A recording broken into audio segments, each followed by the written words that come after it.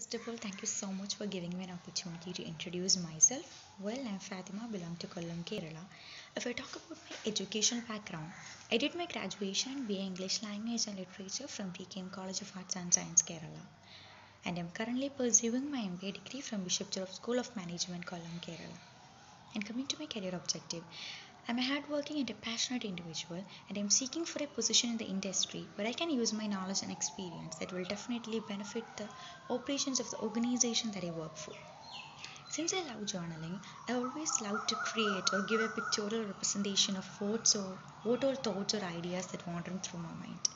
And for me, it's not about the huge amount or a small amount of work that you have done. For me, it's about how perfectly you completed a little thing within a limited period of time. Like, all need perfection in each and every small thing we do in our life. And more than that, I want to become a perfect manager.